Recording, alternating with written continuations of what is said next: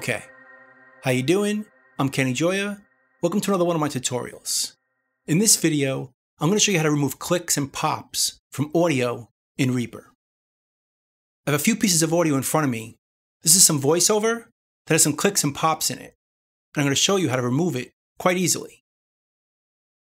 This first piece has a nice sharp click in it. Then we can set a delay time. Then we can set a delay time.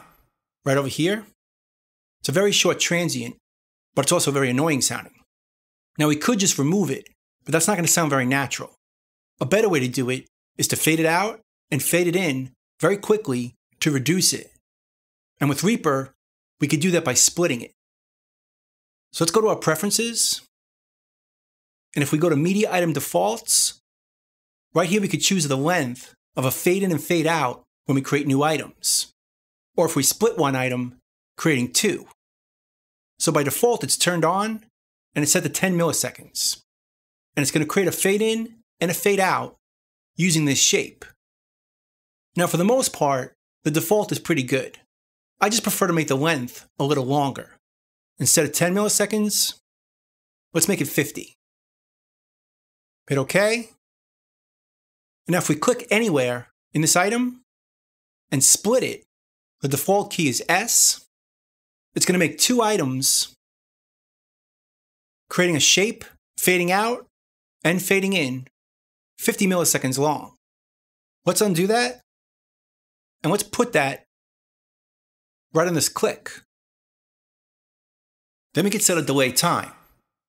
So if we put it right here, hit S, it's almost completely removed. Right here, let's see what it sounds like now. Then we can set a delay time. That's a lot better. But we could adjust it using the Shift key. Hold down Shift, see how the tool changes to be a double trim tool. So then we can move this around and adjust the level of that click. This won't fix it at all, and this will remove it completely. Then we can set a delay time.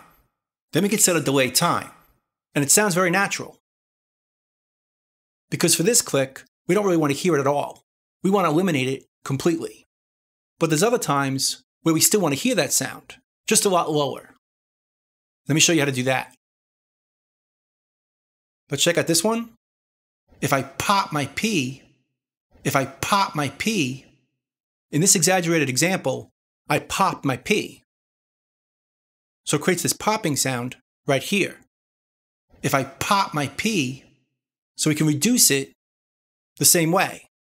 Just click right here, split it by hitting S, and then adjust it with the Shift key. This will remove it completely. If I pop my P, but now the transient is missing, so it doesn't sound very natural.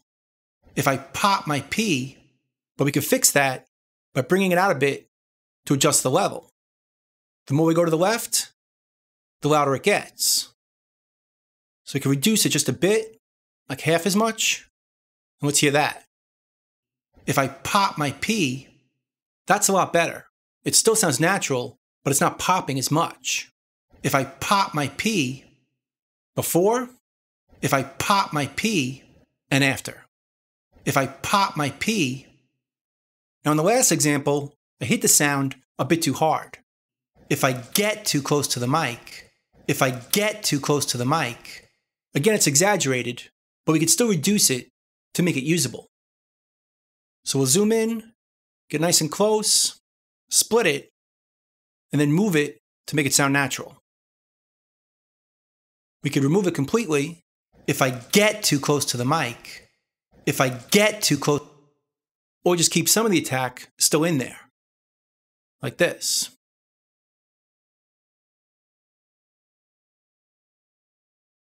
If I get too close to the mic, if I get too close to the mic. Before, if I get too close to the mic. Hear that click? If I get too close to the mic. And after. If I get too close to the mic. If I get too close to the mic. And we could also bring this side out to make it fade even more. if I get too close to the mic, but that's a bit unnatural. Let's pull it back a bit. If I get too close to the mic, if I get too close to the mic, that sounds a lot better. So anyway, that's how to remove clicks and pops from audio in Reaper.